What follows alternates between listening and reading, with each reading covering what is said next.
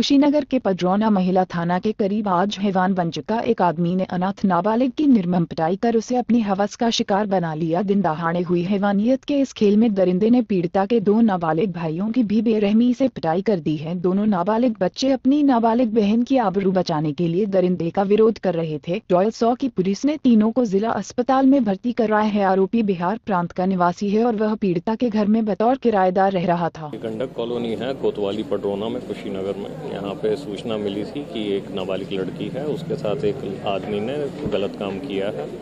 लड़की के साथ उसके छोटे भाई भी थे, जिनको मारा पीटा भी गया है, ऐसा वही लोग बता रहे हैं, जो लड़की है और जो उसके छोटे भाई हैं। ये इनको मेडिकल के लिए यहाँ पे अस्पताल में लाया गया है, जिला अस्पताल में। जो लड़की के चाचा हैं, वो एक तहरीर दे रहे हैं लिख करके। उसी पे मुकदमा दर्ज किया जाएगा। जो लड़का है, वो बता रहे हैं इनके यहाँ किराएदार था और कहीं शादी में जो बाकी परिवार बाहर गया हुआ था उसी में अकेला पा करके उसने कुछ गलत काम करने की कोशिश की है।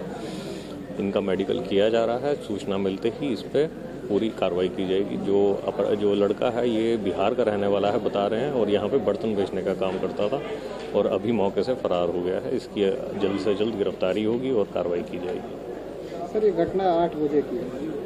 प्रशासन को पता चलता है एक वेजिटेरियन क्या सर इसमें क्या जो इनके पड़ोसी थे, उन्होंने यहाँ पे सौ नंबर डायल किया। यहाँ पे लड़की को यहाँ से लेकर के पहले मेडिकल के लिए यहाँ लाया गया, क्योंकि ये लोग बेहोशी की हालत में थे।